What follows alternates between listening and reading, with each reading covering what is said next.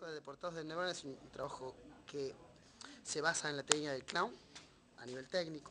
Todos los chicos que están trabajando acá son clowns, quienes no lo eran en sus eh, inicios o quienes no, lo fueron durante un tiempo, entrenaron conmigo durante un año para poder hacer el espectáculo. De hecho, nos llevó un año de entrenamiento el espectáculo. El trabajo eh, tiene que ver con un entrenamiento sobre la calidad de energía y la velocidad del actor, el espectáculo tiene timings que todavía incluso son las primeras funciones estamos tratando de ir este, retocando.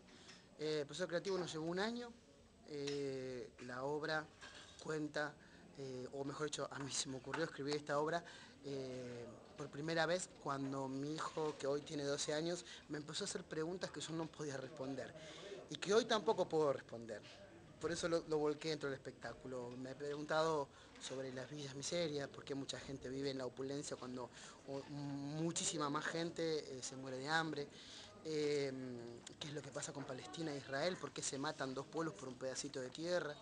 También la pregunta que más me complicó fue, por ejemplo, qué pasa con los curas pedófilos que deberían proteger y cuidar a los niños y terminan haciendo eso y me hizo un quilombo bárbaro. Entonces en un momento me di cuenta que no podía contestar esas preguntas y lo que hice fue empezar a escribir pequeñas escenas. Lo convoqué a los chicos, eh, Diego, em, Diego Recaño, Luciano Cohen y Gonzalo Alfonsín estuvieron conmigo clown desde que eran bastante jovencitos, lo son, pero desde hace más tiempo.